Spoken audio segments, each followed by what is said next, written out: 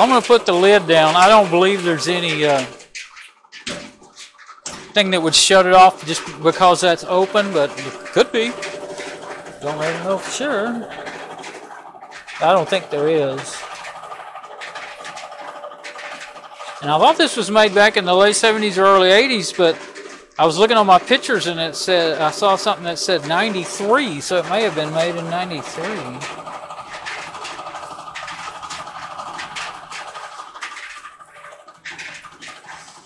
Now that's one thing.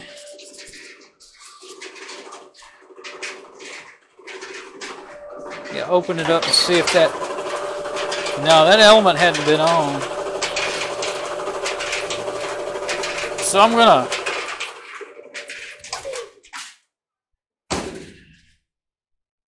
see if that heating element comes on. When it comes on, you can hear it and you can feel a little some heat. It's not doing it this time. There's a screw missing out of the drum. Let's see. Nope. I keep wanting to look at it, but actually, well, I mean, it might help. The light might, if it was very slightly red, then it might help. Now, the heating element could be, be, uh, you know, uh, well, if it was heating up a while ago, I mean, it could be on slash legs, but it's been heating up since I've been. Well, the first thing I noticed is it was heating up when it shouldn't be, you know. So I tested the door deal works perfectly, the door switch. But from what I read, this model, that thermistor in the front, that it senses the the temperature. Or something said it sensed moisture, but it's not a moisture sensor. I, I'm looking at it uh, looking at the part, you know, it's uh, the new part anyway. Uh, unless I got the wrong one. Well, it's the same number. Let's see. It's a number that's uh, on the site. Uh, what's it? I can't remember the repairclinic.com. I think is the name of it. It's real good for helping you figure out what's wrong. There's a whole bunch of them, but that's the first one I discovered about 20 years ago now, I guess. That uh, really it'd give you lots of good how-tos and everything, and uh, that's where I bought those parts I've been talking about. They've gotten more expensive. The last time I bought something from a refrigerator, I found it on there and then bought it on Amazon for like half the price or a quarter of the price. The ice maker for the refrigerator. And it's supposed to be OEM. I mean, it could be a rip, a, a copy, you know, to look like an OEM, but it does. It's been working for at least six months or eight months now. So, of course, the other one, the original one, worked about five or ten years. I can't remember when we bought the thing now. We bought that refrigerator new. Might be 10 years ago now. But anyway, uh, that one in the front. See, see, I'm thinking, well, what if I, what if I uh, bypass it or put the new one in? I've got the brand new one. If if it'll go in that same spot, it does not look like it, and it doesn't look like any of these either. So I know it's not uh, one of these. These things, the OEM ones like on that website, they're 54 56 $55. The, the one that I know the part number for. And then the others, I still haven't I figured out 100% which one would be the right one because if I look up the model that's, that I've got off the tag on this thing, it does not find me my, doesn't show up. I, all I can find is Whirlpool. I mean, I think Westinghouse may be bought out by Whirlpool because I keep finding Whirlpool parts that say when I do my search for my I put white Westinghouse in this part number that's on the tag on the back of this dryer and I keep coming up with Whirlpool parts. So I can't remember uh, it may be that Whirlpool took over Westinghouse, white Westinghouse. You do find information on Westinghouse, but you don't find anything about white. And uh, White's used to be a department store that was pretty, plenty. There was a lot of them that sold appliances here in uh, in Tech North Texas, and I imagine around the country. They they were you know as much, they had their own appliances, so they must have been bigger than just Texas. Let's see. There's an L330 and an 330. I'm looking at uh, some stamp stuff. I am starting to wonder well, the, the heating element didn't do like that. Of course, that doesn't mean it wouldn't do it next time. It seems to be more of a random thing. Let's turn it. Was at about 20 minutes. Turn it on again. And then. Uh,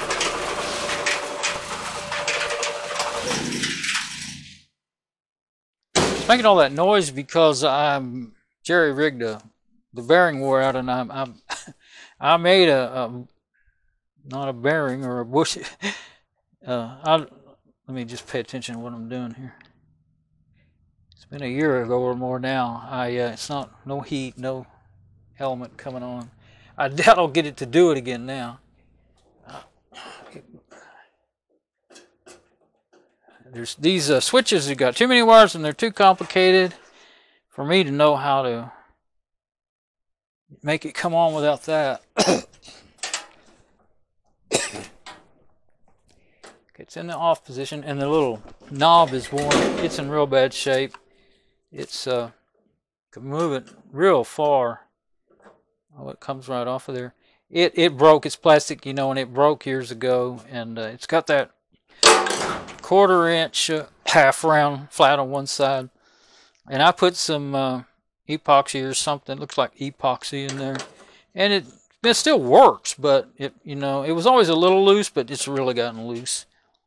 And man, I've I have recently in the last well this last year I was looking. You never could find them at all unless they were like outrageous prices. I'm talking over twenty-five to fifty dollars, and that's crazy. But I have seen them similar ones that probably would work for. Uh, I saw one that said it was for a. I guess it was a West. I don't know if it said Westinghouse or Whirlpool, but anyway, it's a white one that looks the same design as this one, about the same size for uh, ninety nine or something. I saw another one for saw some. It really doesn't matter what they're designed for; is they're just in the same fit that quarter inch flat shaft. Well, the one thing that would be wrong about them is, you know, they would the, this wouldn't be pointing the the little marker wouldn't be pointing in the right direction if it wasn't made to the exact same way. Of course, you could, you know what you could do is just get one without a mark or get one with a mark, and then if it don't part in the right place, uh, paint, you know, cover it over with paint or uh, marks or mar uh, permanent marker, and then make you a white mark where you want it, or an orange. That's an orange one. Make an orange mark, whatever. Yeah, on a white one you could do that. But I, am uh, tired of it being like that. Anyway, that's the least of the troubles if it don't work, right? It's not working at all. But it's making all that noise because uh, it was going to take too long, you know, like a, maybe a week to get my bearing kit, which I have a brand new bearing kit that I bought, I don't know when now, years more ago, two years ago. But I, we needed the dryer. We use it. Uh, people, somebody is always using it every single day. And uh, so, and I needed it uh, to do clothes. I had, it was time for me to do clothes, you know. And so, uh, I got out here and spent 12 hours making a bushing setup, bearing, not, not a bearing, not a bushing either, really. What I used was um, a U-joint, a U-joint uh, strap for my, seven, that an old one that got bent and messed up out of my 76 uh, Chevy Blazer, the rear end, the differential on my Blazer. Uh, I was always having, whenever I'd be some, uh, have trouble breaking U joints sometimes. Uh, well, can't you can't keep stock U joints in it. You got to put. Uh, the, I found a brand called Super Strength that are extra heavy duty, and you can grease them and put them in it. But even it's a real severe angle. It's jacked up. Uh, but you can break if you put it in low gear and get too rough on it. You can the, the the motor's got enough torque to break them that way too. Don't especially if you try to do burnouts on pavement. Don't do that. But uh, I taught my transfer case doing that one time, trying to impress a girl. really showed her how cool I was. She was pretty uh, pretty impressed how I got under there and fiddled around for about five minutes and threw the drive the rear shaft in the back, put it in front, uh, four wheel drive, and let the front shaft take us on. And so we still made it to the restaurant. But we were all in a big group going to a restaurant, and everybody had already left by the time I decided to show off. Anyway, uh, that was $750 worth of fun there. I had it fixed. I didn't uh, didn't do it myself. I used to always do everything myself until about that time. I was at that very time I was still making good money in GD and General Dynamics, and uh, I was tired of crawling around in the dirt and the mud, you know, working on stuff, the grease. okay, so uh, I don't know that those are. Well, obviously, the uh, I mean, it makes perfect sense to me. I've started on it all all day, making sure I could remember and understand what would what should happen and shouldn't happen. My memory's not good these days, so I have to refresh. And all those pictures really help me. Everything looks just like well, of course, it looks just like it did in the pictures, but I had I knew what to expect when it came out here. That it's just that. Uh, yeah. Anyway, have the uh, the have the the factory, you know, the replacement for the bearing. Have the well, have the whole kit. It's got the felt for the front and everything. Uh, I put a bearing in once, and then uh, again, it wore. It, they usually last about 10, 11 years. Those bearings in the back, which I guess that's not too bad. They're just, especially being that they're the the thing on that screws on the back of the drum is like a trailer hitch ball. It's very small. It's about an inch in diameter, and then the bearing is a plastic cup that it hooks into, and that's what wears out. Is that plastic cup always wears out? But what I put in there was uh, I left the original ball trailer hitch ball in there, and I just figured out a way to mount that um, U joint cap under it, so it's just sitting on that. When it's greased, it's okay. It's just fine. It's moving so slow. I just didn't have anything I mean, that took me 12 hours. Well, I was making videos too, and that always makes everything take longer. But uh, anyway, I, I I had some wheel bearings and stuff. I I could have figured out a way to put a wheel bearing in there, but it was just going to be. I just figured it would be a several day job, you know. So, and I was and I knew I was going to order the parts, so I didn't plan on leaving that in there as long as I had. Yeah, that it got. I've got a new belt. That belt's showing signs of wear. But I remember the first one we replaced, or the first one we, yeah, the first one we replaced was after we already had the thing for probably 20 years. Maybe not that long, 10, 15 years, 15 years. This one is not too bad. Is these things will just last and last. But uh,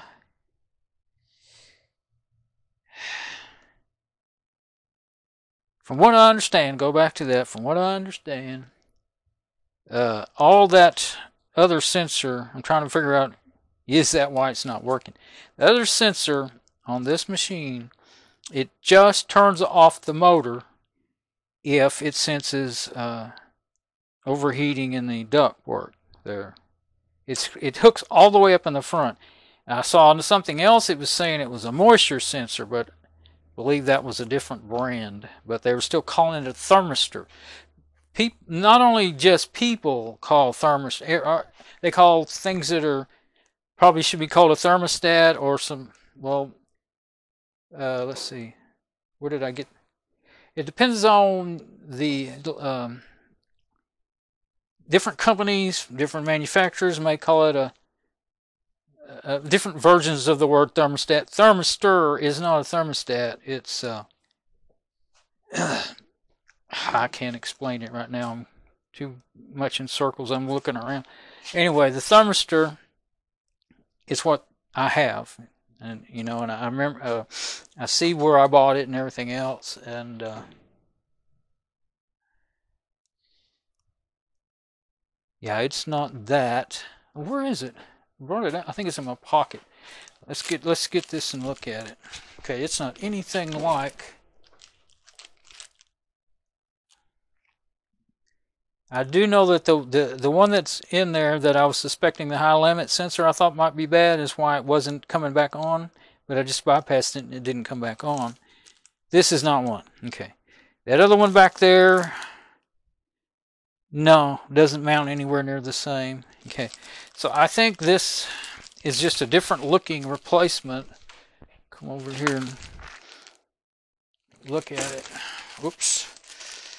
Got this light on my hand now. I, I like to put it the strap on my hand to keep me from dropping it. It's not really a work light. It's a it's a weather radio with a light in it. It's kind of delicate. Okay, so uh, I've never taken it out of the bag. It's uh, two prongs there. See the way it works, way it mounts, I mean. And then the other side, I don't want it to open the bag up unless I'm going to use it. One cool thing about that store where I bought this is you can, we got a year to return this stuff. I decided to keep it, but that's all there is, and that's the part that goes into the duck. Now I do, in the videos that I saw, I saw videos of installing these, but then when I look at mine, um, it's, um, it's, it's a way different looking. And I'd have to go back and look at the pictures again. I can't remember if the mounting is the same. That's what tell me a lot. If the mounting is, you know, if this would fit in there, then it, I'm going to figure it's probably, I did get the right thing. And those are way too little to look at, but thermistor, and then it has the part numbers and stuff. But uh, I go put it. Now let's yeah, let's put it back in my pocket. Well, I don't want to break it or anything. I'm not trying to think of where's the safest place. Probably over there. Sometimes I lay stuff down like that and then I can't find it. Okay, well it's got but. I mean, I have that and I could put it in, but it's a heck of a job. As a matter of fact, I think, I mean, you, you know, you couldn't reach it. I just realized, even if you, well, there's only one small, I mean, look, yeah, there's one small access panel back there. That would be impossible. My arms are not really, you couldn't, it's up here, about right in here, and you'd have to reach through that little bitty panel. And once you get it open, well, it's not, it's, once you know how, it's actually not that hard getting the drum out. But I don't want to do that uh, now. It's nighttime, about probably nine or after in the evening at night. And uh, I don't want to take all this apart knowing that I have to get it back together. Oh, bro, it did actually dry some clothes after, I think it ran six or eight hours. and we went ahead and unhooked the, the dryer vent so that it couldn't be the problem, you know, and it didn't help. It didn't make it start working or anything. So the problem isn't just that it's clogged up, at least not this, you know, like I thought there could be a bird nest in the top, but I can't get up there to check. This could be dirty, the one going across, it could be clogged, I, possibly. But about uh, a year ago, when it first started acting up, I stuck a, a, a nylon plastic air hose, I mean, a uh, plastic line, water line is what it's really for, uh, on the end of my uh, air sprayer on my air compressor. And I, I it does 125 C, uh, psi. So, uh, and I blew up that. No, no dust came down whatsoever, which I was really surprised. I figured someone would fall down out of there. And then I blew from the front because you know, you don't have to take anything apart. Just take the the screen out and blew that way with the door off. I mean, with the pipe off, and I didn't see a whole bunch coming out of there like I thought it might. and I don't, like I said, getting down on the floor and all that's really hard. But uh, I'm thinking if if I could uh, something that wouldn't be too hard to stick in there. Oh, I know one thing I thought of. Let's see, we have some old brooms. This one here. Oh, this one doesn't have a... You know what? I bet I could squish that up and stick it in there. Okay, now that would be worth trying, I think. So, I'm going to put this camera over this way. And uh, got my chair in the way here. There we go. Now I got to be closer so that I can. Uh, sorry. Okay.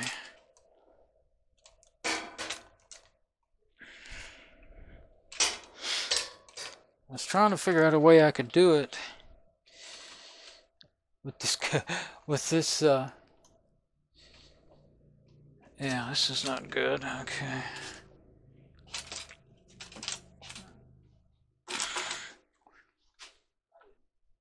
Yeah, there's where I want to go. It's down there. What I'm thinking is I'll I will have to turn it to use that uh, room. i have to turn it all the way around. Let's see, I better unplug it, I guess.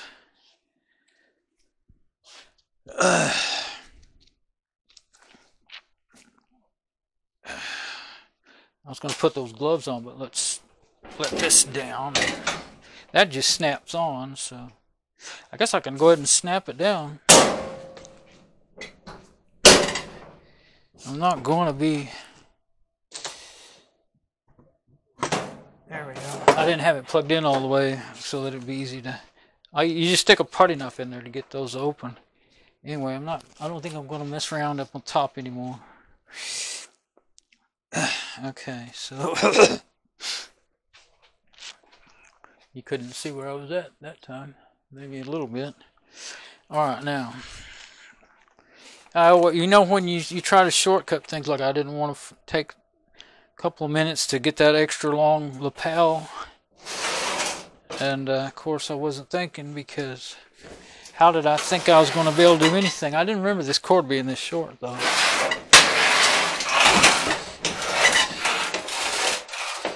There we go. Now this is gonna be hard. Oh, I have my chair. I think I can do it from the chair. I've got a rolling chair here. I may have to. I guess I should just let this thing down quite a bit.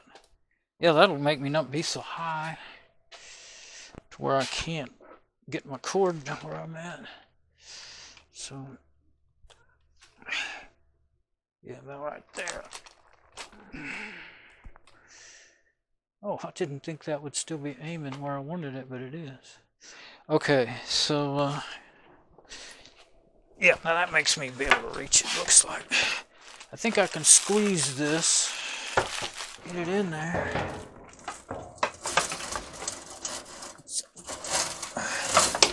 It's old and messed up, so it doesn't matter if it I'm twisting it just like those ones you buy to stick on your drill.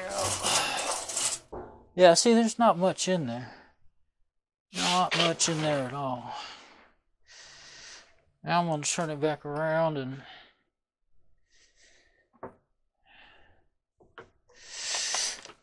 but yeah, that little bitty cover there is all you you know. That's that's the only access you got from the back. Not anywhere enough, close to enough to to get to that all the way to the front to replace that thermistor.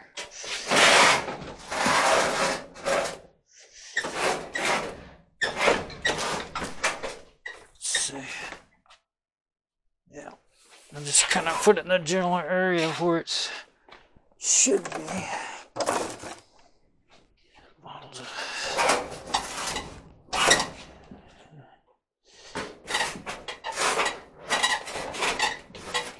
Okay, bottles of water. Now, uh,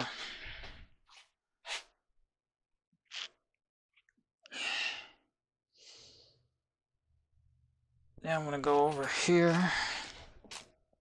Let's go this way again.